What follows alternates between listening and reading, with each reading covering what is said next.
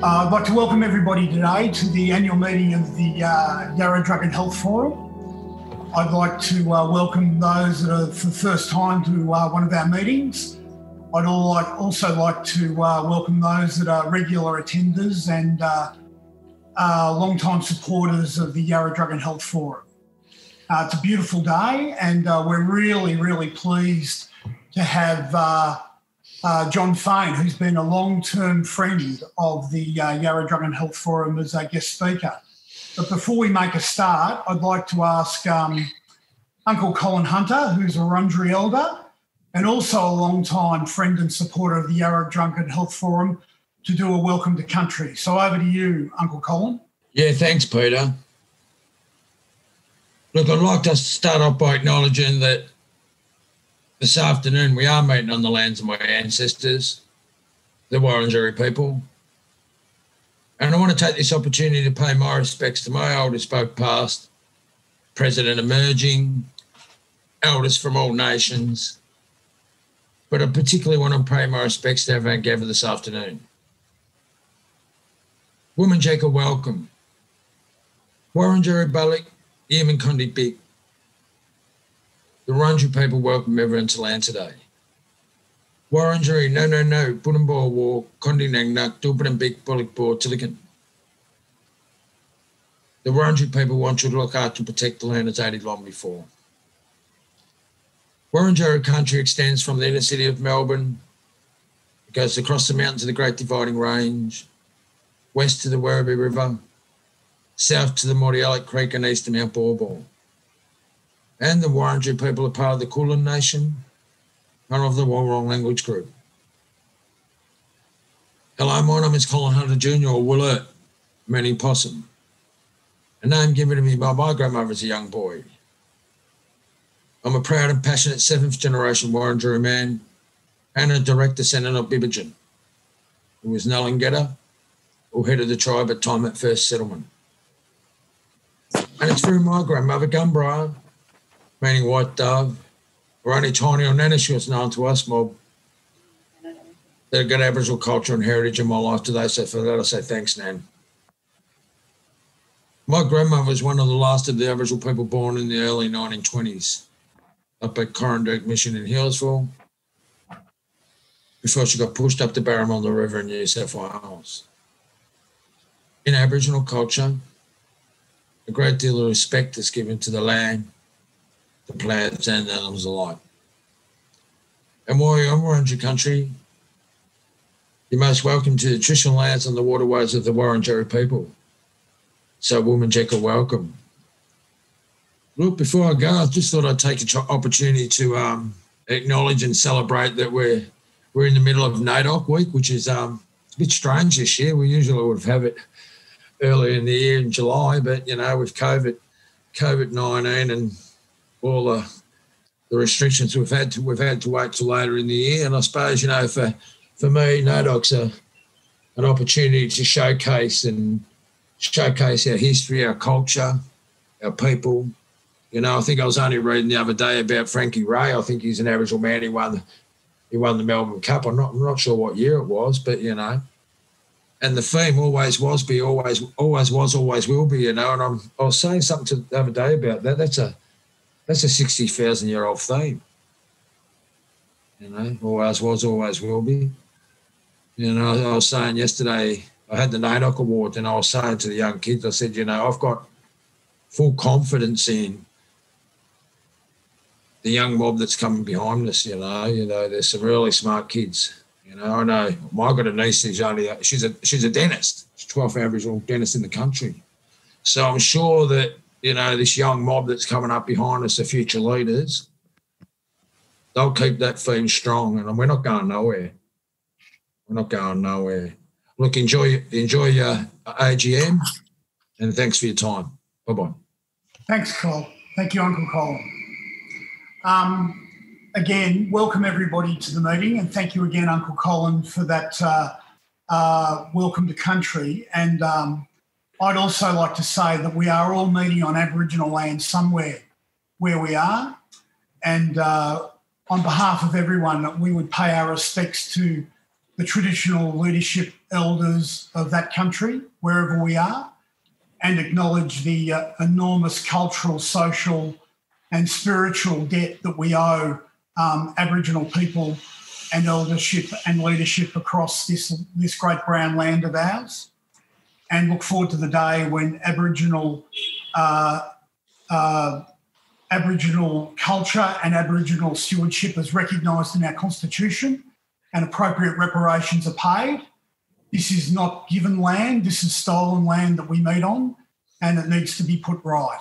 So we acknowledge that and we acknowledge uh, uh, the, great, the great work of people like un- Uncle Colin Hunter. So today is the annual meeting of the Yarra Drug and Health Forum.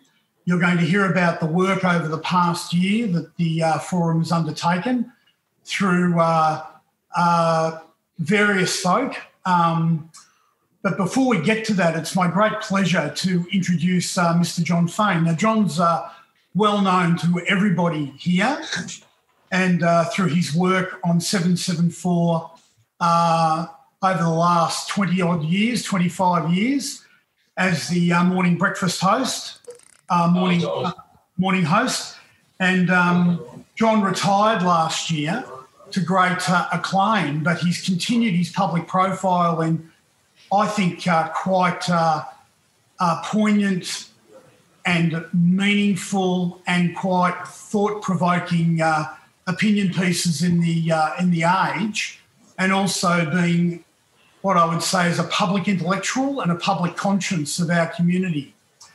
And uh, when, I, when Jon kindly agreed to speak today, I asked Jon to think about, in sort of an Old Testament prophet sort of way, what, what society is going to look like coming out of COVID 19.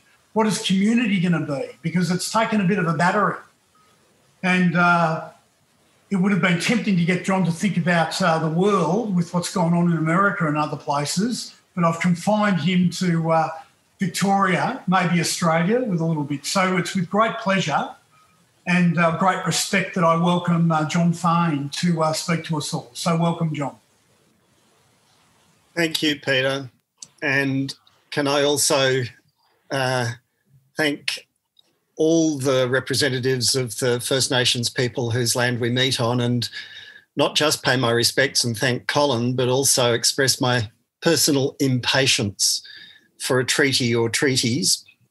And until we come to terms through some process, whether it's truth and reconciliation or whatever else is deemed to be appropriate, until we come to grips with that, we can't repair the damage that's been done in the foundation of the incredibly privileged society that's been built on the, the massacres, the dispossession, the rapes, the torture, and all the other things that happened and were unremarkable apparently at the time of colonial settlement of what we call Australia. And I'd like to be uh, unrestrained in my affection and my pride in my country, but I can't be until those terrible things are uh, come to grips with. We were lied to when we were taught at school, and we're still lying to ourselves a bit now. But more on that maybe some other time. Uh, I've known Peter Wearne a long time since he used to run around in inappropriately small shorts on a television set for a show that I was somewhat bizarrely asked to host, which was kind of like teenagers doing Q and A 25 years ago for the ABC. I, I, don't recommend you go through to YouTube or the archives to look for it, but uh, uh, we've stayed in touch, and I think I'm the richer for it. And Peter, I um, pay tribute to your remarkable work. You've asked me to speak about the, the community post COVID and um, to talk about prophets and public intellectuals. Um, profoundly appropriate because I don't think of myself as either. I can't play those roles and I don't try to, but if I can reflect out loud on some of the things I'm sure you're all thinking about and talking about, and then answer some of your questions, which Peter's offered to moderate through the, the chat function. Um, the first thing is I'd say that um, I, I, often rail when people talk about the media does this and the media does that. And we don't have a media, we have multiple media. And I always bristled when people said, oh, you know, the media's done this, that, or the other. And I go, hang on, don't put me in the same basket as the Herald Sun or 60 Minutes or Today Tonight or whatever other uh, tabloid trash we were talking about at the time. There's not one media, there's a whole diversity of media. And each of them does the job that they seek to do and they do it as best as they can and thinking that they are in touch with their audience and how best to communicate ideas to them. Some of them do it for different reasons. Some do it in order to make money out of advertising, out of attracting eyeballs and eardrums. And, you know, everybody is their target audience as long as they can bring you in in order to make money, to monetize the attention that they seek to get from you. And they do that sometimes by being tacky and tawdry and coarse and, um, you know, whatever else they need to do. I've often thought it's like sticking a, a, a stick, putting a stick in an ant's nest and watching all the ants scurry around and, you know, if you go out there and you you inflame a situation as tabloid media often do, then you know, I guess swings and roundabouts, you stir up trouble and then you take the credit for calming it down. I worked for a very long time and was very privileged to be a small link in a very honourable chain at the ABC. So we don't exist to make money for the, the proprietors. We, we don't exist in order to try and accumulate a mass audience in whatever way we can we existed according to a different set of values. And that's the same with community. So if you ask, what does community look like post COVID? Well, there isn't one community. Every single one of the 25 people who are participating in this meeting, every one of you have multiple communities. And you participate in different ways at different times in different communities. You've got neighborhoods, you've got families, you've got friends, you've got workplaces, you've got sporting affiliations, you've got religious affiliations, you might have political affiliations, you may have hobbies that you're heavily involved in, and each of those is a community. There might be some overlap. There might be a gap, a massive gap sometimes between who you are in one community and who you are in another community because we play roles in our lives you may be one person when you go to the football and that person's unrecognizable compared to the person you are when you're at work. That's not unusual. In fact, often people go to the football in order to lose themselves, in order to be a different version of themselves. So there's not one community to look at post COVID. There's a whole range of communities, and some of those communities have been strengthened by this extraordinary pandemic, and some have been weakened through this pandemic. And even when we bury down another layer, if you look at families, some families have been united by the pandemic and others have split apart. Some people finding they're spending more and more time with their spouse, their partner, their children, their parents, whatever it might be. They've loved it. Some people have hated it. Some people have loved these virtual meetings on Zoom. They've adapted to them, readily taken it up enjoyed it. Enjoyed the fact that you can be dressed from the waist up and you can be doing all sorts of other things. And there's 25 of you, and who knows, a whole lot of you have blanked out your cameras and you could be sitting there doing the crossword puzzle or whatever else it might be. And you can be present whilst you're not present. You can be multitasking. You could be on five different Zoom meetings at once and no one would know. So you can be incredibly efficient. People have found all sorts of ways of grabbing the opportunity and exploiting it. Other people have curled up into a ball and gone into the corner and howled at the moon. There's no universal experience. One of the things that particularly irritates me, in fact, as I consume a lot of media still and and knowing some of the kind of, you know, the the sausage machine making that goes on behind the scenes. One of the things that really annoys me at the moment is everyone's talking about the economy but every time I see on television or newspapers, radio, wherever, I see people talking about the economy and they constantly talk to someone who runs a restaurant, a cafe, or who's a tourism operator. That's not the economy. The economy is not cafes, restaurants, and tour operators. That's discretionary spending. The economy is everything else. It's manufacturing, it's farming, it's services industries, as we know, a massive part of the Victorian and Melbourne economy. The economy is not people in uh, restaurants who are bemoaning the fact that you know they can't have as many patrons as they'd like to, or they have to serve people outside on a day which is windy with hay fever rampant, as today is. And I get really cross because I'm going, I'm, I'm turning into one of those middle aged men who shouts at the television or shouts at the radio and goes, ah, why do you keep doing this? And the answer is obvious when you bury into it. The answer is because those people are readily available and they'll say something that will attract a reaction. They're not going to always say, "Oh, everything's fabulous. We're doing really well." They're going to say, "Ah, this is a disaster," and if it le- if it bleeds, it leads. It's always the same. Bad news is always better for the media than good news. So we've got this kind of distorted effect as we have a look at how communities are dealing with the pandemic. I could rattle off a list of half a dozen businesses and people I know who have told me that they have had record turnover. They've never been busier. They've made a fortune so far from the pandemic. Their business has been underwritten by the taxpayers, and they're going to have to give some money back because all their predictions of collapsed turnover have proven to be wrong.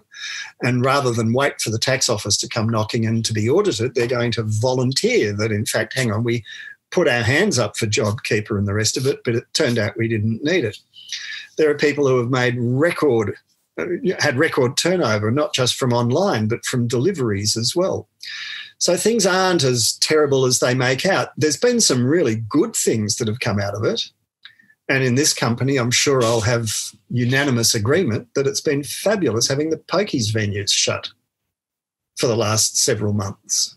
And I was so disappointed that the casino's allowed to reopen.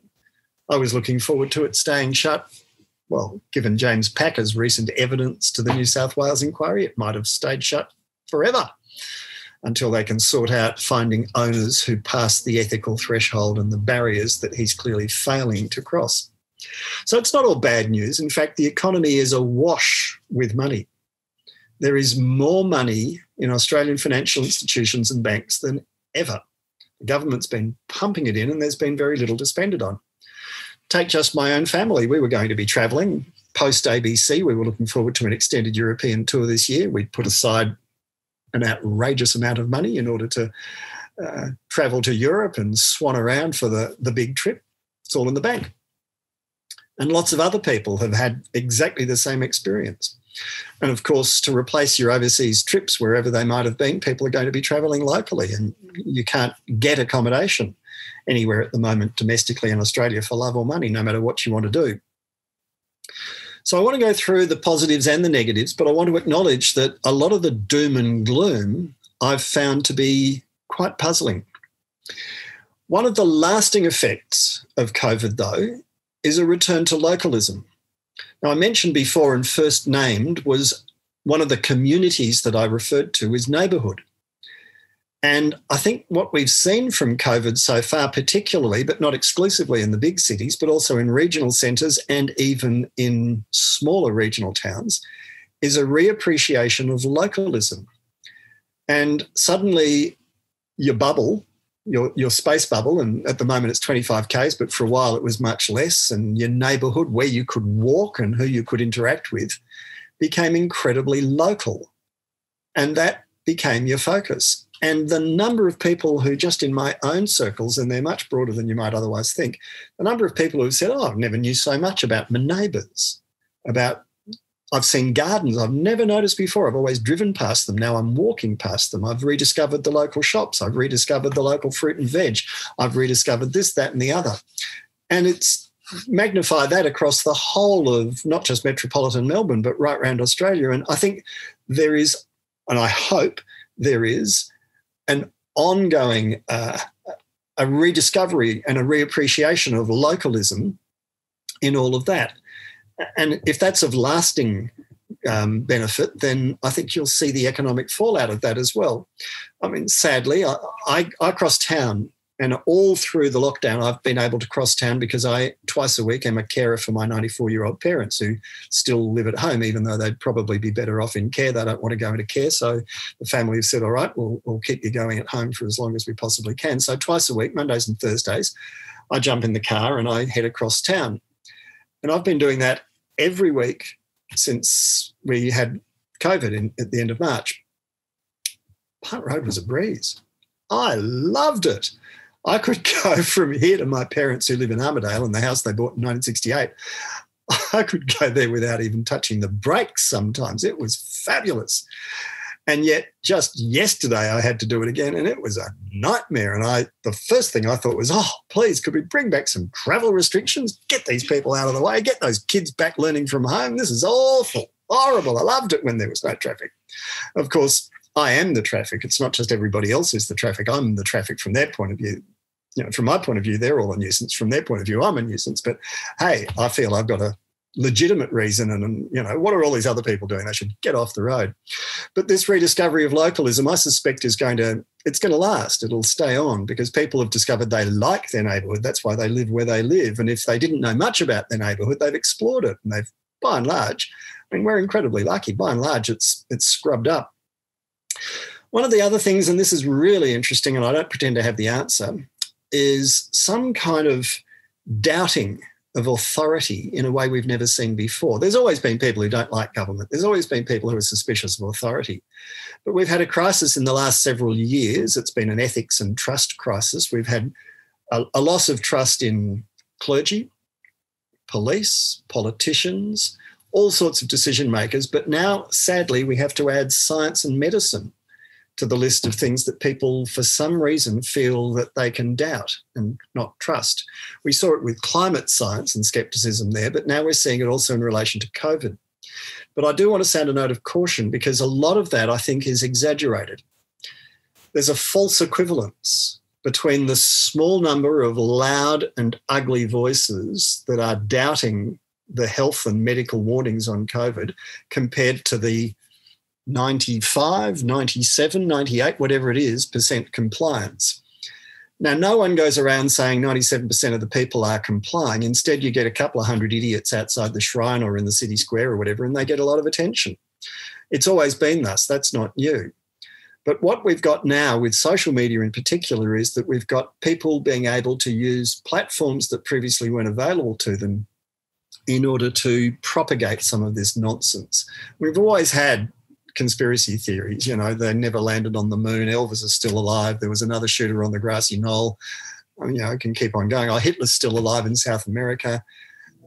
There's any number of them. They've always been loonies and there's always been conspiracy theories, but they've always been loonies. They've been on the fringe. And now, with social media and the collapse of some of the traditional mainstream media and gatekeepers, we've now got people who ought be on the fringe who have been trying to mainstream themselves. But again, I think there's an exaggeration of how much importance, significance, and influence they have. I don't think the fact that Sky News is on with, you know, 10,000 viewers, I don't think it means that much. A lot of those people have just got the television on as wallpaper and they're not taking much notice. A lot of those people are already, they're not, no one's mind is being changed. People tune in because they're already committed to a particular perspective or point of view. And then the social media people say, oh, look, you know, people on Facebook or Twitter or whatever, like hundreds of thousands of followers. Well, the sad reality is that of all 26 of you who are part of this annual general meeting right now, uh, we're approaching what is it two o'clock but by five o'clock this evening you could all have 100000 followers if you want on twitter. You can go online and buy 100000 followers and they will be added to your account on facebook or twitter. And suddenly you look like someone who's really important and whose opinions really matter and who's incredibly influential even though all you are is someone who flew a threw a credit card at some troll factory in probably India who manufactured 100,000 fictional followers so that you boosted your profile. It's bullshit. It doesn't mean anything. And the other thing is that a lot of these organizations, they put out videos and they put out all sorts of nonsense on social media and they say, oh, we had, you know, 30,000 people watch this video. Well, uh, I'm sorry to be the one to break the news to everybody, but it doesn't matter how many people start watching the video because you can again set a robot, you can set a computer to go click, click, click, click, click thousands of times. The only static statistic that matter, the only uh, relevant piece of data is what's called the completion rate on those videos. And uh, videos on Instagram, Twitter, YouTube, Facebook, whatever other platform you'd care to like, they're notorious for having incredibly low completion rates. Like I'm talking 1% completion. Sometimes less than 1%, but rarely more than 10%. And that's because people use technological trickery to try and make their material popular when it isn't, or to make it appear to be popular when it isn't. So there's a lot of nonsense out there. And there's this false equivalence between the genuine story and the facade of a story. And I'll give you, just before we get to your questions in a few minutes, I'll get to the best example I can give you, which is one that's personally um, come to me. In about June, as we went past that three week period where we had first wave and we went into a period of relative openness and we just started to realize we were being hit with the second wave, I made a um, friendly phone call to someone who I've dealt with and worked with professionally at the health department for a very long time. And I rang her, and she's in the comms side, uh, and I've dealt with her over many years from the ABC. And I said, you know, your your ads to try and stop this second wave, they're really not very effective. First of all, they're a bit, I'm sorry, boring. They're very conservative and they're not cutting through. You're not ever going to change someone's mind with a, you know, a, a doctor in um, a mask and gloves saying, "Oh, please take this seriously." It's just not going to persuade anybody. Might look good, but it's not going to achieve much. And I just thought I was helping her out, and she said, "Oh, well, you know, what should we do instead?" And I said, "Oh, well, you, have got to use a bit of humour, and you've got to use a bit of carrot instead of stick, instead of just kind of, you know, wagging your finger at people." And uh, I thought I was just giving her some ideas. And then she got back to me and she said, Could you write down some of that stuff into an email so I can show it to other people? And I said, Yeah, sure. So I wrote her a one page email saying, Why don't you try doing some of this, this, this, this, this, and this? And then I didn't hear anything for a week. And then I heard back from her and she said, Can you expand on that and turn it into a proposal? And I said, I don't know, what's a proposal look like? And she said, Well, just just expand on it. Just explain in more detail. Your one page needs to be two pages so we can take it to the secretary. So I put on a, in a proposal. I didn't know what a proposal was, but I made one up and expanded on it and said you could do this, that, and the other.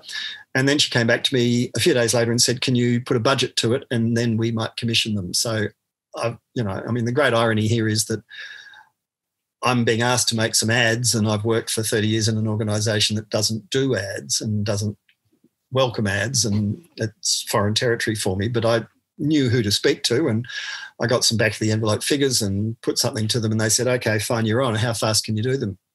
So you might have seen the Magda Szubanski, Matt Preston, Shane Jacobson. There's a series of eight ads that we did, and we made them in three weeks, and we worked flat out. I mean, I worked you know 18 hour days for 20 days in a row, as did lots of other people. And we pulled them together and we got celebrities who normally you have to book up months ahead. I mean, if you ask Magda to do something, normally you go through an agent and you spend weeks and weeks and weeks negotiating over a fee. And Waleed Aly and Nazeem Hussain and um, uh, the, the, team from Marngrook Footy Show, uh, Michelle Payne, the Melbourne Cup jockey who just finished shooting a Myer catalogue of all things, you know, we used, and Tayla Harris, the footballer, and Mo Hope. So we got all these people, Shane Jacobson, you know, really busy just doing the full Monty on television, Matt Preston just building up to another TV show on cooking. I just rang them and said, We're doing these emergency ads for the health department. Do you want to be in? And every one of them said, You bet. And we had them like I rang Magda on Thursday, we filmed her on Monday. I rang Matt and Shane on Friday. We filmed them on Tuesday. And it just went bang, bang, bang like that. Now, when those ads came out, they had 1.4 million views in less than a week on YouTube, Facebook, and Twitter. 1.4 million in less than a week. And they went viral. They just exceeded anybody's expectations. And just saying a simple message to people, you know, follow the rules, wear a mask, do the right thing, and we can get this thing beat. And then the trolls piled on, and people started trolling Magda for being fat. I wouldn't take a health message from someone as fat as you. And they did the same to Shane Jacobson. Nobody else got trolled, just Magda and Shane.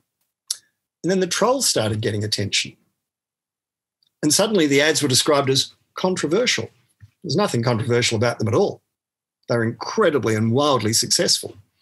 But suddenly there was a second, and you know, forever grateful. We got another burst of interest from the fact that some of the people presenting some of the ads were being trolled. And then there was a bit of a wash up, and they got written up in the Guardian, and they got played on Gruen and Media Watch. All sorts of people followed on, and thank you very much. It helped get the message across.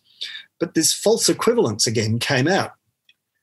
So a couple of thousand trolls were regarded as just as important as millions of viewers. And they're not. They're nothing like each other. A couple of thousand trolls is nothing like millions of people getting the message through the social media platforms. So it was a really interesting phenomenon where you see the distorting effect of social media. Of course, huge numbers of people have nothing to do with social media, and increasingly there's people segmenting their social media. I mean, it's only journalists who consume more than one or two types. Most people are sensible enough to say, oh, look, I'll use Instagram or I'll use Facebook or I'll use TikTok or whatever it might be. Some people don't use any of them. But it was a really interesting, from my point of view, because I was on the receiving end this time, it was a really interesting example of what I was talking about before about how things get distorted and get out of hand. So let's get to questions. Just to summarize, though, where are we post COVID? Well, there's communities. Some of them are strengthened and some are weakened. Our governments are being asked to support the ones that have found themselves under stress, and that's a good thing. I think the federal and state governments, by and large, have been quite remarkable. Not perfect, not by any means perfect, but you look at where other countries are, we have been very well served. And I think that's buttressed people's faith in government. We've seen that with the ACT election, the Queensland election, the New Zealand election, the Queensland election. You know, all of these different tests of public sentiment have shown us very clearly that people think they've done a, a, decent job and they should be given credit to it. So I think there'll be some lasting benefits. There'll be some deficits. There'll be some people who are hurt. There are some sectors like education, foreign students that have been hurt and they will need investing. So let's look and see what Dan Andrews' budget does. Let's see what the effect of Josh Frydenberg's stimulus is going to be. And let's keep on working together as our communities emerge from the stress test that we've all been through. Thank you very much for listening. Yeah, thanks, Jon. Look, um, we've said that, uh, yeah, people are clapping, uh, the Zoom clap or whatever it is. Jon, while we're waiting for people to uh, put their hands up or ask questions, um, do you think it's changed the economic framework of how? I mean, prior to uh, to COVID, governments couldn't. You know, no one wanted to have deficits. Not even the Labor Party thought deficits were an they were a dirty word. Deficits. Now, no one's worrying about deficits. Absolutely. Do you think um, that's changed the uh, zeitgeist of thinking?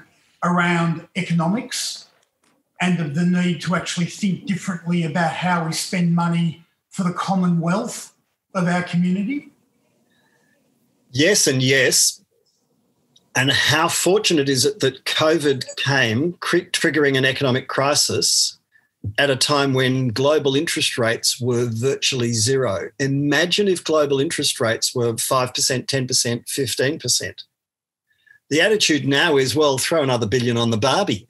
Who the hell cares? Free kinder next year, you know, whatever else it might be. And it won't matter because we can borrow this money within the existing ceilings and limits that we'd already set for repaying debt because interest rates have completely collapsed. Governments can borrow money for, you know, a quarter of a percent. I can't, you can't, although you can borrow money for less than ever before. And then you've got this extraordinary phenomenon of the the uh, the super funds, the industry super funds, and I should declare an interest. I've given some advice to Industry Super Australia, and, and I think it's a, an amazing organisation. But they've got one and a half trillion dollars, and they're wondering what they can spend it on, so that they can have the returns to the fund that guarantee you've got an income when you retire. So they're desperate to invest in things that create jobs for people who become their members or are already their members, which means they contribute more money, which keeps the virtuous circle going. Mm. They don't want to invest in, you know, toll roads in, you know, France or Canada or whatever. They'd rather invest in renewable energy, social housing, all the things that need doing in Australia, including infrastructure, which will pay a return over 10, 20, 30 years. It's what's called patient capital. And they're saying, well, if, if we spend money on a railway line, will it give us a return for how many decades that we can then use to support the people who are our members? And in the building of it, we can support the people who are doing the building who will become our members. So it's got multiple benefits. It provides infrastructure that's needed, jobs for people who are our members, and retirement funds for people who are our members. What can possibly go wrong? So instead of infrastructure being built by people like a Canadian pension fund who invest heavily in Australia, we can go and invest in a solar farm and provide renewable energy. We can invest in social housing where the government will guarantee us a return to provide a solution to homelessness. And we've shown, and I think this is worth more than a passing remark, suddenly all the rough sleepers in Melbourne have been accommodated for the last few months. Mm. Wow. Mm. That's a problem that we were told could not be solved. Suddenly, it can be solved, and not by throwing billions at it, but by redeploying some of the money that was already being thrown at it and doing it in a different way with some compulsion, which for some people was difficult. But the vast majority of people went, You beauty, how good is this? We can do these things when we set our minds to it. We can, and we need to do it more. Yeah, there's a question uh, from uh, Nick. The question is uh, regarding community groups and an increasing insistence from the uh, Charities Commission that community groups not be political. What's your question, Nick?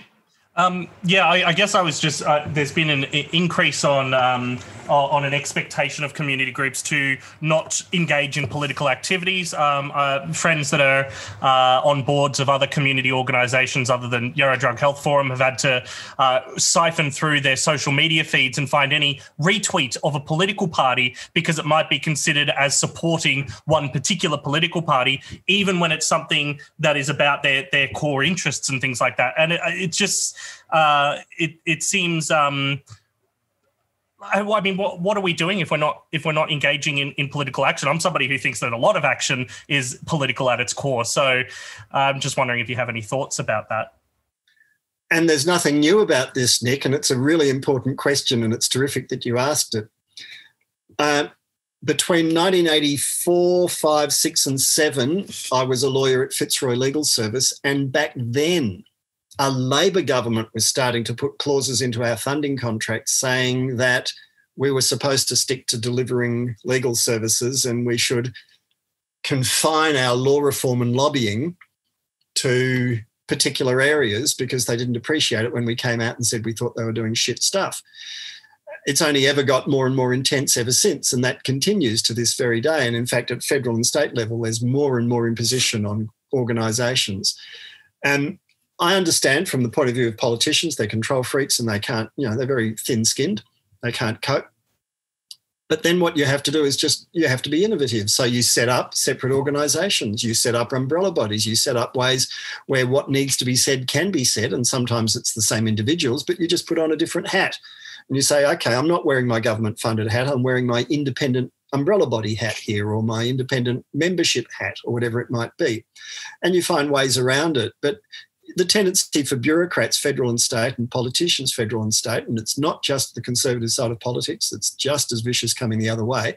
Uh, I don't think that's about to change. So you can rant and rave, and I did, and I still do say how inappropriate it is. But at the same time, I, I think you know you've got to choose your battles and that's one you're unlikely to win and i might quickly say i don't think the greens are pure on this either um, if for instance you are wanting to challenge some of the supposed uh, unassailable truths of green political action, you find yourself on the receiving end of a pile on as well. And you know, this this um, loss of preparedness to respect other people's point of view and understand the complexity of some issues, I think is very very regrettable. I don't like it at all. I think. Um, you know the, the tribalism that's creeping into so many things we've seen it supercharged in the states in this election but uh, the fact that you know I, I've got friends who are conservative politicians, and we, you know, if we sit down and have a spaghetti together, we abuse each other roundly, test each other, um, try and undo each other, but we stay friends. You know, you learn a lot from having your worldview challenged. If the only people you ever mix with are people who agree with you, I think that's a very dangerous thing. Is there a final question for Jon before we have to say goodbye to him? One final question. Yes, him. Hi, Jon. Great to finally see you face to face one of these days. Um, and thank you for gracing us at the Yarra and Health Forum.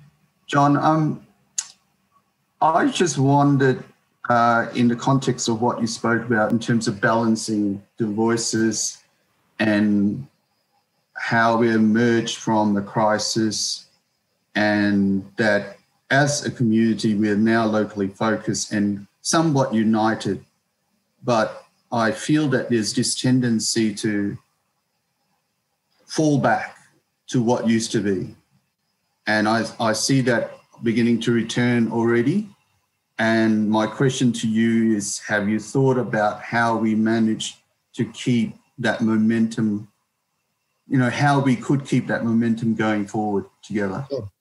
Sure, and it's a really it's it's crucial. You're absolutely right to identify it as vital. Um, progress is neither inevitable nor linear. In other words, things don't just happen along a nice, smooth, straight line. They just don't it's rough and tumble. Sometimes you go backwards before you can go forward. Sometimes you get distracted and diverted off to a little cul de sac. And it's not inevitable. You have to make it happen. You have to actually force the pace of change. Now, how you do that, you can either do it through a kind of Trumpian dystopian attempt to impose your will on people, or you can do the opposite, which is, I'm sure, what's going to, to, to work with all the people participating today, which is you you do it by empowering people, by explaining things to people, by being endlessly patient and resourceful with people and bringing them along with you rather than beating them around the ears and saying, this is what you have to do.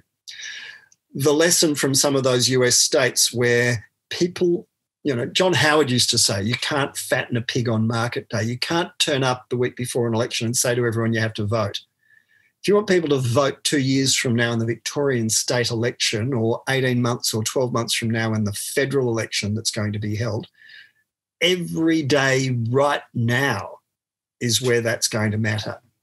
You can't just go and put something in people's letterbox, virtual or physical, the week before and say, hey, do something for me. You build those relationships all the time and you do it sincerely and with substance rather than just abusing people by treating them as a commodity that you just, I don't care what you think, I just want you to vote for me, sort of thing. That can't work. I mean, it's true that the most the most used Google search last election was who should I vote for on the day. People putting that into Google on their phones while they're standing with a sausage in the queue. I cannot believe it that's clearly not a good thing. I, I'm a supporter of compulsory voting, but it's grassroots organisations and the work that all of you do in being respectful within your community and building lasting relationships, which will ultimately pay off.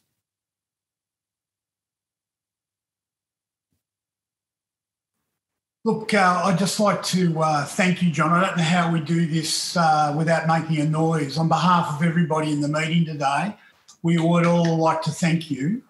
And um, thank I've, you. Been, I've been a, uh, an avid listener and uh, respecter of your work for many decades now. And thank you. And, uh, and I, I will always say this that one of the things that keeps our community strong is people like you and the contribution that people like you have made in the in the public forums of debate and uh, keeping the bastards honest. And you've certainly kept a lot of bastards honest, Jon. and uh, we look forward to uh, keeping our relationship you, with you uh, strong and healthy in the future and look forward to uh, hearing more from you in the, all these public forums that you uh, work in at the, at the moment. So thank you once again, Jon. Thank you, Peter. But thank all of you for the work that you do, which I don't need to tell you how important it is. You already know, but I just uh, I thank you for it again, sincerely. Thank you. Have a great meeting.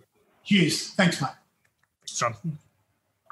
Well, what a, what a what a what a positive uh, a positive note to um, to uh, to uh, to begin on from Uncle Colin and then uh, and then uh, Jon, sort of elders in different ways in our community.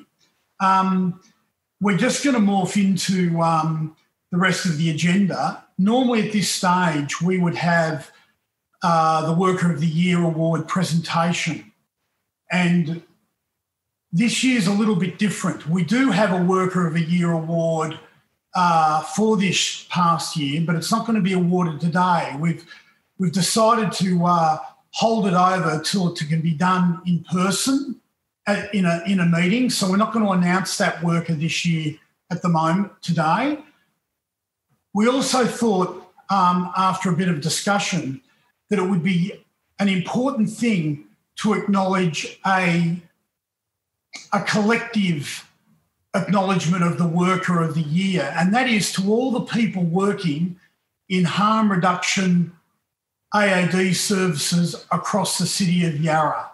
People that work at Inner Space, people that work at the injecting room, people who work at YSAS, people who work at uh, St Vincent's Hospital in the mental health and drug and alcohol uh, services, people who work at Harm Reduction Victoria, people who work in all those aspects, people that work in, in all those services that have made such an amazing impact in such difficult circumstances on saving and protecting lives during COVID 19, directly and indirectly on some of the most um, stigmatised and vulnerable, vulnerable members of our community. And we want to applaud the work of everybody from uh, the most youngest and inexperienced of those workers to senior management that have made sure those services run. And uh, this whole year has been one about reducing harm. And COVID 19 has rem- reminded us that we are in a, a practice of reducing harm and saving lives. And I just hear the lessons from in my lifetime of the work of HIV AIDS prevention. I think of the work of uh, some amazing people in that area. And earlier in this year, we had the absolute privilege of uh, Professor Margaret Hamilton and um, uh, Vera Boston, uh, John Ryan, uh, Councillor Amanda Stone, and others remind us of the rich tradition of harm reduction in our in our world in Yarra a 35 year rich history of that work. And we stand on the, on the shoulders of giants in this area. And we want to acknowledge that that tradition of, of hard work, quiet work, selfless work has been carried on by many, many people in many, many settings across Yarra. And so for today, the award for the Worker of the Year goes to everybody in Yarra that has worked collectively and selflessly together to save lives. And, and so, congratulations to everyone in Yarra that has done that. We will make a further announcement, probably in the new year, about the individual award winner. And, uh, and we just want to make sure that that's a special award that's done in an appropriate way in a public meeting, because that, that is a special moment for that person. We don't want to just do it in a virtual world. We want it to be in a real world. And uh, so, on behalf of the, uh, the forum, we congratulate everybody in that space. Moving into uh, my brief report, I think Yarra has lived up to its reputation of being a special and an amazing place of compassion and understanding over the COVID period. We've seen the absolute best of, of what it has to offer. And uh, I want to acknowledge the work of the council. I want to acknowledge the work of the service sector. I want to acknowledge a big shout out. I know Rachel and many of her staff from the Neighbourhood Justice here Centre are here. The tremendous work that uh, that her and her staff have led in uh, the COVID period. And uh, it's been fantastic to see how many people have worked together so hard. And the other groups that I want to acknowledge have been the, the diverse community leadership groups, whether acknowledged or not, known or not, that have done those things in neighbourhoods and little community settings to support one another without pay in voluntary capacities, looking out for each other and highlighting the uh, the uh, and championing the needs of their communities and meeting those needs. And the one group that I've been a privilege to be part of has been um, the Aboriginal network that is led by Uncle Colin Hunter, the YASM meeting. And uh, it was nearly, it was really struggling before COVID. Not many people were going to the meeting. But boy, oh boy, did it find its uh, vigour and vim during COVID. And a combination of community organisations and individuals that have been meeting together in that network, making sure that elders were being fed and protected, making sure that vulnerable community members were being looked after, making sure that the message around uh, how you become infected and how you protect yourself from infection. One little example that I saw up close and personal, uh, by the way, nothing to do with anything I did, I was just privileged to observe it. I think it was an amazing example of Yarra at its best. And if there is a cautionary tale here, it was in the question that Hing asked of Jon Faine. Let's not forget the lessons we've learned.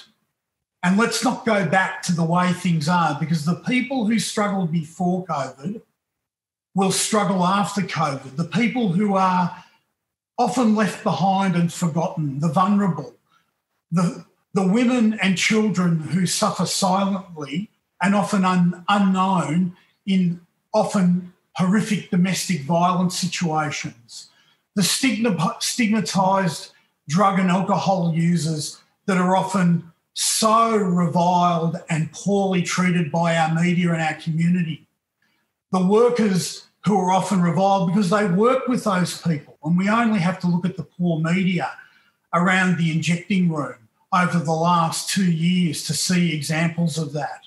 And I want to applaud the work that's being done trying to bring communities together around the injecting room, the peacemaking process that's being led again via uh, the NJC and Anita, who's in this meeting today.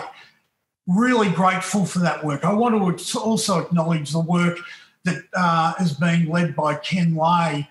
And uh, and I, I, forget the lady's name. Someone remind me of the lady's name, her co-facilitator. Quick. Someone tell me. You're going to have to un- unmic yourself. Yeah, go, Judy. Frankie, maybe. Who? And Kate. Frankie, maybe. And there's a Kate. No, the, oh, the, the co-facilitator. Oh, we know. Uh, Peter, it's. Cheryl Batagol. Yes, Cheryl. Thank you, Judy. My apology, Cheryl, in your absence. These are signs of hope. And I think one of the other signs of hope has been the outstanding uh, group of people that have been elected to council in the last council elections. And what a fantastic thing democracy is when it works. And, uh, and I think there's a lot to be hopeful for. And, uh, and the last thing I'd say that brings me hope is the fantastic event that we were privileged to host late last year. And I want to give a shout out to Deb Warner, who's in this meeting today as the uh, as the uh, coordinator and leader of APOD, and uh, a family person who has done such tremendous work in championing the cause of family members who deal with uh, um, their children and family members who battle addiction on a daily basis.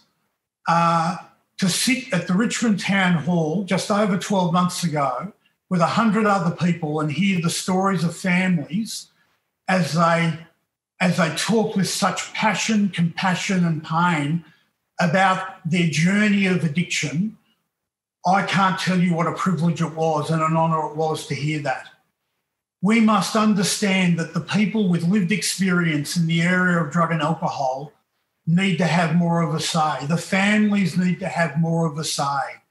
We need to hear more from the people who have journeyed that path and have learnt such invalu- invaluable truth and wisdom has to be brought to the fore.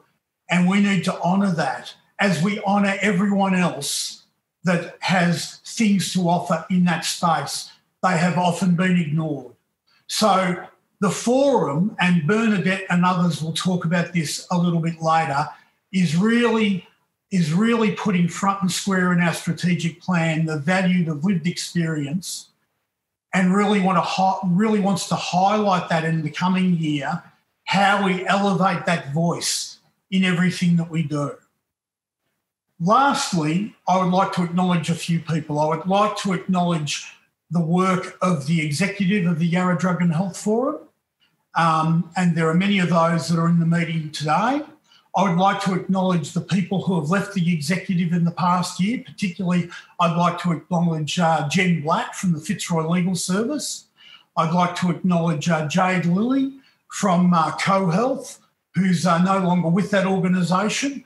And I'd like to welcome on board um, Adam from uh, the, uh, the, the Fitzroy Legal Service, who's joined the executive. And I'd also like to welcome Janelle from CoHealth, who's joined the uh, the uh, Fitzroy uh, joined the executive from uh, from uh, CoHealth. I'd also like to welcome um, Sarah from uh, Sarah Hilly from the uh, Medically Supervised Injecting Centre, who's joined the the executive of the Yarra Drug and Health Forum in the past 12 months. But most of all, I'd like to thank the community for supporting the Yarra Drug and Health Forum in the way that it does. We are nothing without the support of the community. And uh, we want to increase that support. We want to increase that support through the lives of people who have lived the experiences of addiction and drug use. We want to do, we want to increase the uh, support of the forum through people who experience the, the really difficulties of living in near and around open drug markets residents, businesses, people of goodwill that want to work towards solutions to make Yarra even more livable and harmonious than it is now.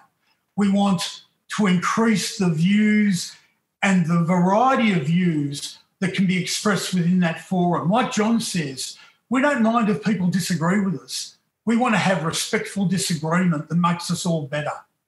We want to learn off one another. And not finally, and not least, I'd like to really say what a what an absolute um, win it's been in the appointment of Bernadette Burchell as the executive officer of the Yarra Drug and Health Forum. We we I don't know what it is about the forum, but we just keep on winning Tattslotto with our executive officers. Every time someone leaves, we think, when are we ever going to get a better executive officer or another executive officer? who's going to work for virtually nothing and uh, and come and join us. Well, we keep on finding people and they keep on applying. So we want to acknowledge the work of Bernadette. We want to acknowledge the work of our past executive officers, but also really acknowledge the work of Bernadette in this current year and uh, say thank you to Bernadette for her hard work. And um, uh, it's just been a pleasure to work closely with Bernadette. And uh, we wish her all the best in the coming year, but really acknowledge the work that she's done in the past, what, 12 months now, over 12 months. Yeah. So thank you, Bernadette.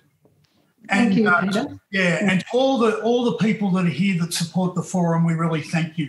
And we're on the look for new executive members. If you want to join the executive of the Yarra Drug and Health Forum, please feel free to contact Bernadette either through our website or personally through email or whatever, mobile, and have a chat and uh, we welcome uh, we welcome new executive members. Now, I think I've acknowledged everybody. Yeah. And I think I've done, I've covered it all. Without my, ah, yes, one more thing. I need to thank Kevan Myers for his many years of commitment to the Yarra Drug and Health Forum, because Kevan has chosen to resign off the executive.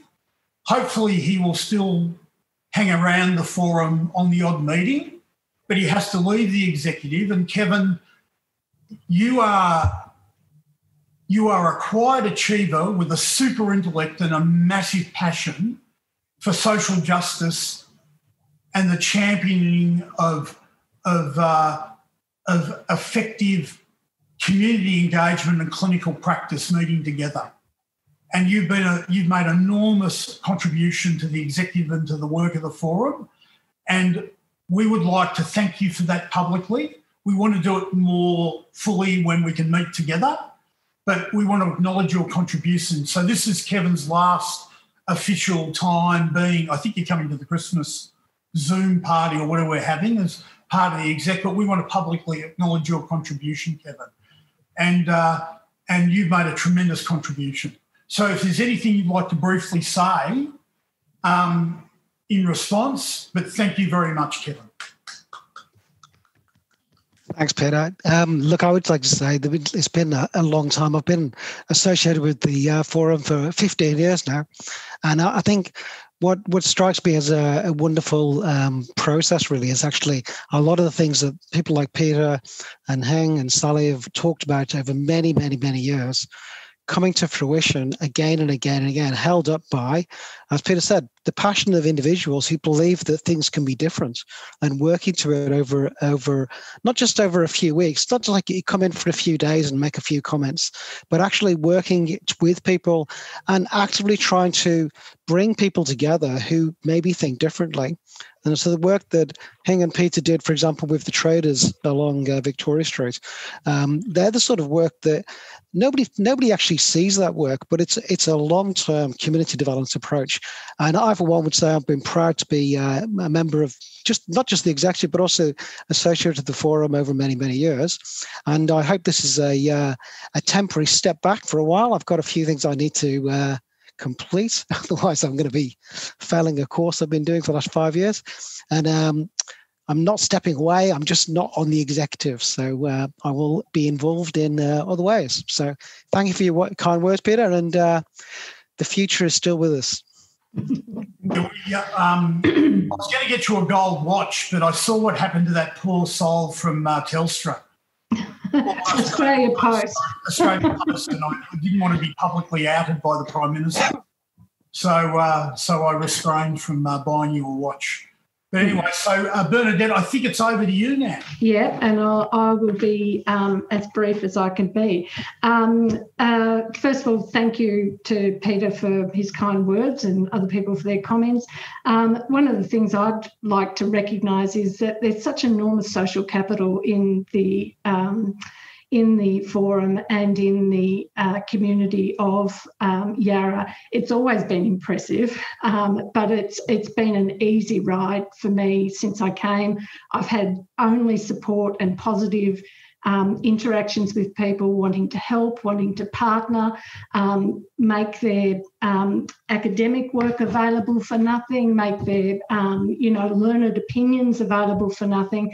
Um, it's been uh, it's been a privilege really and, and a joy. Um, I've enjoyed it very much. So I've been embraced and uh, and I embrace it. And I'm actually I feel it's a very worthy um, it's a very worthy involvement for me. So I don't think I'm above it. so, um, so I wanted to just do a particular shout out to, of course, Peter. Everybody knows um, Peter's passion and um, and his uh, you know amazing availability and support to me. But I also want to do a, do a shout out really to um, Nick Nick Wallace because he held the fort um, one day a week, God knows how, um, through before I I started and after um, after Greg, and um, and you know without Nick. Um, the, I think I would have had to go when COVID struck. There was no way I was going to do online events with my my level of technical expertise. So um, I just really want to say, with absolute gratitude, Nick, um, you've been generous and um, uh, and a terrific uh, support uh, to the forum and to me um, going forward. So yeah, thank you. So now my technical assistant will um, help me with the PowerPoint. This is the more, um, you know, the, the drier part of the day. Um, but uh, the annual report is available via our website, um, as is our one-pager strategic plan, which some of you have already seen, but um, just to let you know that that is available there. Um, and I'm just going to do a little quick run through unfortunately, there's a lot of writing. It wouldn't surprise you at all to know that the forum's very good at words. so, so, this is this is no different. But uh, just it, it helps me to reflect on what our actual stated goals are. So I'll just take a minute for you to read that one. If you could go back, Nick, just to that first one yeah. Because uh, i think that that's kind of like it's it's um, an important thing to remind ourselves like what's our purpose? You know what are our goals here? And they're quite defined you know? So and there are four objectives that um, sit under those goals and this was developed long before me. Um, and i don't really want you to read all everything that's over there on the left. It's in the uh, annual report if you want to. But the first objective was community education and engagement engagement. Um, and if you take me to the next um, slide, um, our achievements over the last year, we've done nine monthly community forums um, celebrating 35 years of harm reduction and on topical issues. Um, we opened uh, 2020 with a fabulous presentation from Vera Boston, who was one of the founding uh, members of um, Yarra Drug and Health Forum, and that presentation is on our website and well worth um, accessing and having a read through.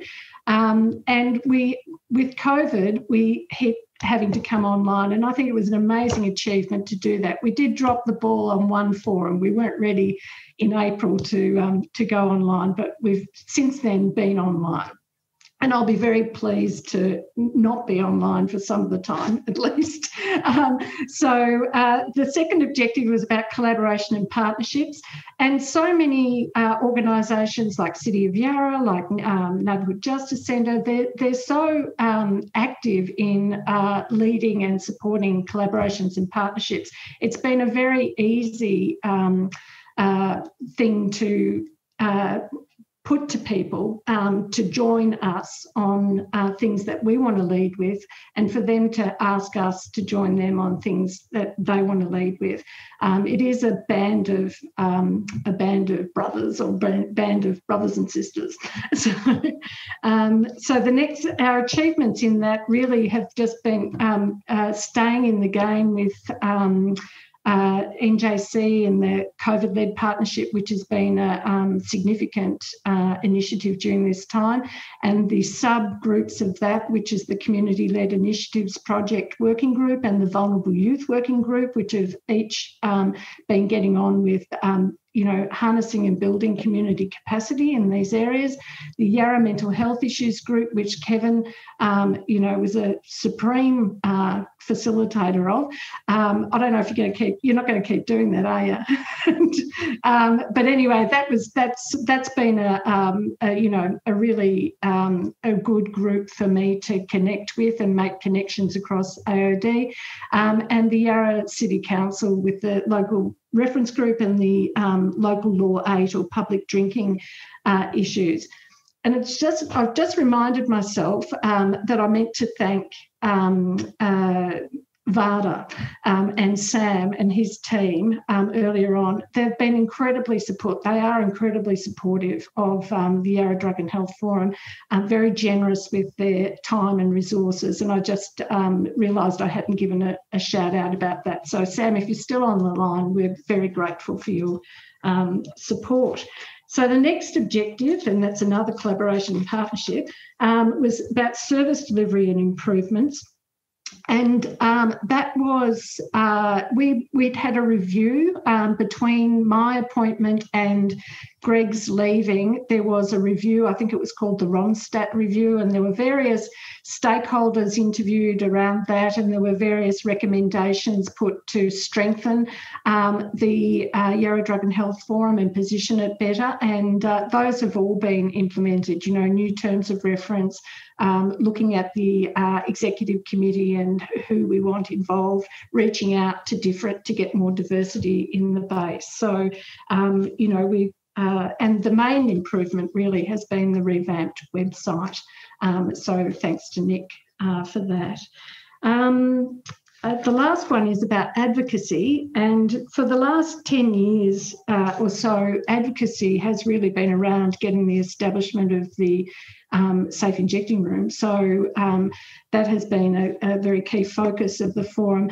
And now we're kind of we've we've had the opportunity to um, have a look at well, what are the current issues today and going forward, and where's our best add value to this.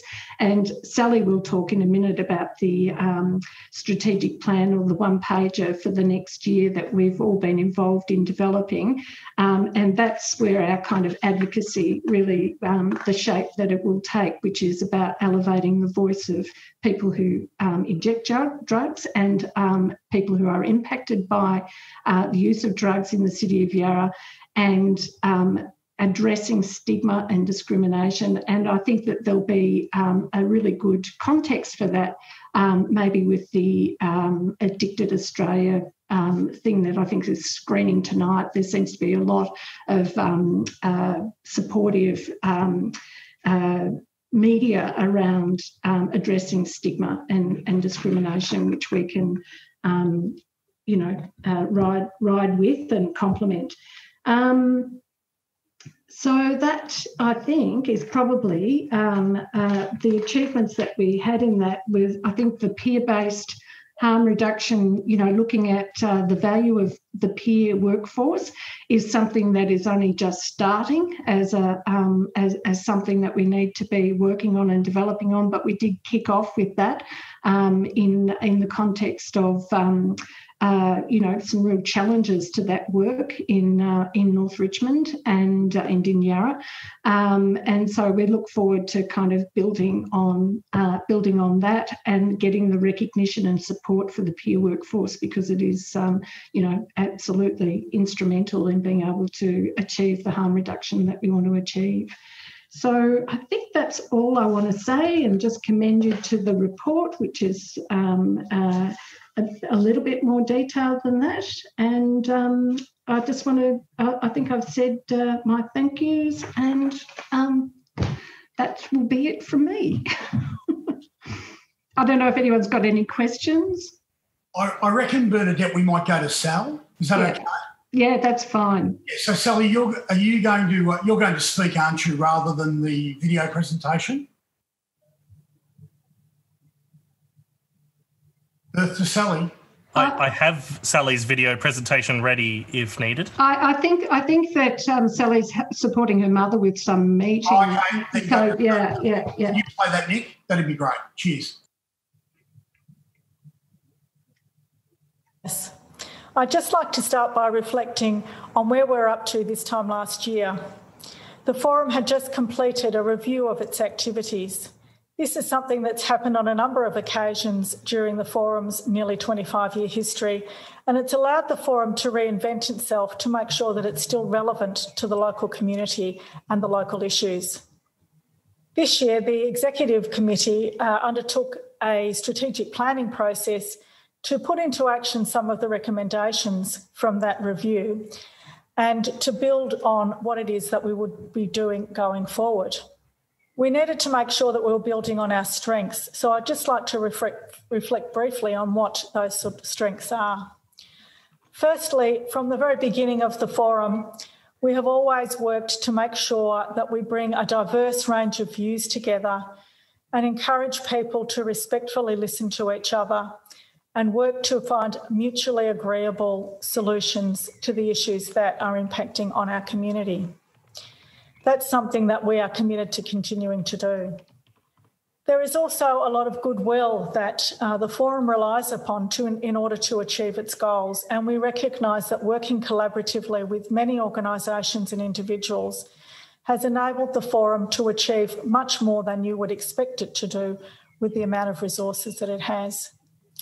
In fact, many people who don't know the forum very well think that it's quite a large organisation given what it achieves. Whereas really it's three days a week of an executive officer's position, plus the ability to work collaboratively and the time and commitment that many organisations and individuals make to its work. So, going forward for the next couple of years, we will continue to work with other organisations who are working on the issues that impact on our community. We think that working collaboratively we get the best bang for our buck and we achieve the most that we can. And we know that there are many organisations who are working very hard uh, to address issues in this community. Secondly, we decided that there are a couple of pieces of work that we felt the forum should be leading. Not that it, other people shouldn't be involved, we want to work with other people as well. The first one of those is that we will continue to address the impacts of drug activity on our community. And we're doing that by thinking about harm reduction and the principles of harm reduction, not just being about working with people who are using drugs, but also looking at the impacts of drug activity on the whole community and working with the whole community to minimise harms. So we will be working to listen to and work with community members and listening to and working with people who are using drugs. And we hope that we will be able to have some really good discussions to come up with solutions that everybody is comfortable with through that process. The second piece of work that we're going to do is to be addressing the issues of stigma and discrimination that are experienced by people who use drugs when they try to access services, when they're participating in our local communities. These things create enormous barriers for people being able to make sure that their needs are addressed and that they are living healthy lives. There is more detail about this in our annual report, and I hope that you'll have a read of it there.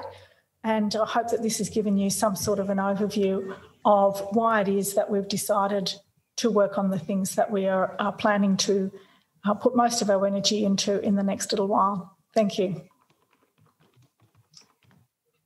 Okay.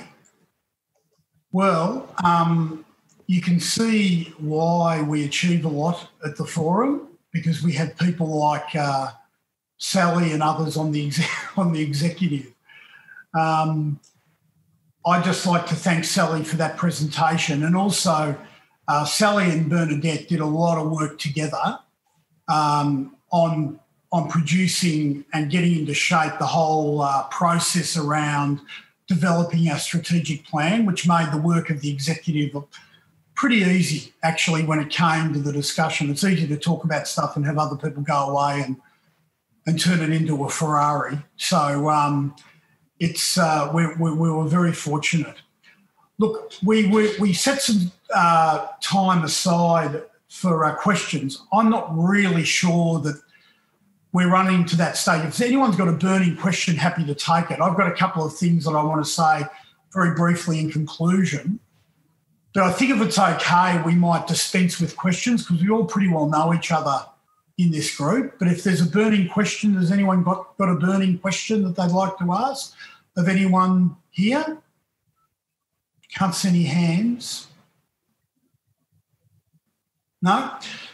Then finally, I'd like to do uh, uh, three things. Firstly, I'd like, with uh, with uh, your permission, I'd like to acknowledge the tremendous support that CoHealth give the Yarra Drug and Health Forum as our auspice. We're not an independent organisation. We're a we're a, we're not an incorporated organisation. CoHealth auspices, and uh, they've been a fantastic partner, a developing relationship over the last couple of years, three years.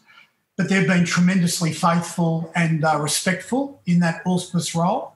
So I want to acknowledge that. I'd like to acknowledge too the ongoing um, partnership that has deepened and grown with the City of Yarra, who fund us partially, and also uh, the continuing um, funding of us by DHHS.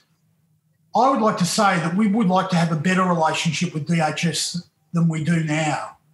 They fund us, but we don't have a super duper amount to do with them we would like to have more to do with them, and hopefully, post COVID, we could that could happen. So we look forward to that that relationship deepening in the future. And uh, finally, I'd like to say that, um, and and Bernadette alluded to this. I'd like to acknowledge the work that Nick's done in uh, all the online activities. As chair, Nick, you've been really uh, fantastic in your work. I've really appreciated all your work and um, uh, you're the easiest person, tech person I've ever worked with in my entire life. I've got to tell you that. Oh, and, uh, Nick does a lot of voluntary work in the AOD sector, uh, Media Watch, AOD Media Watch, uh, the 3CR program, lots and lots and lots of things he does, probably things I don't even know of. And uh, so I think that just needs to be acknowledged. And also, I'd like to say, um, both personally and organisationally, and Bernadette did say this, Sam Biondo has been an original member of the Yarra Drug and Health Forum when he was at Fitzroy Legal Service. Sam's been a strong supporter in his role as CEO at VADA, and we really value that relationship, Sam. And uh, so, thank you very, very much for um, continuing to support the work that we do and uh, your continued interest and involvement. And uh, apart from that, I think we're done. Is there anything I've missed, Bernadette? No. Haven't missed anybody? I don't think and, so. uh, we look to seeing you all in person. Um, I just want to tell you one story before I finish. I'm working with a man at the moment uh, in my job in my Aboriginal project. He's been on remand for two and a half years at Port Phillip Prison. He's nearly 50 years of age and he was a well known person down at North Richmond. He has us. I have permission to talk about him because I'm talking about him to a lot of people at the moment. He has been ch- charged but has not had a hearing in a, in a court for two and a half years to actually work out whether he has any guilt or innocence. We have got a long way to go in our justice system in this country. So our work is nowhere near done. So, on that note, I bid you a good afternoon and thank you all for attending. Bye bye. Thanks, Peter.